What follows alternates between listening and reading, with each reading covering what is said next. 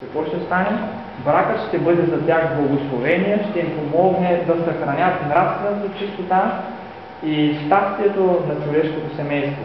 Той ще удовлетворява бракът обществените нужди и ще, възвишава човека във всички отношения.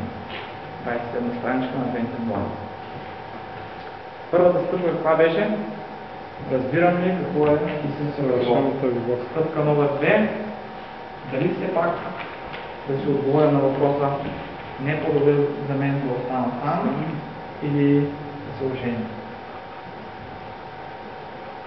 В обобщение, ако да бъда радостен, докато съм сам, да бъда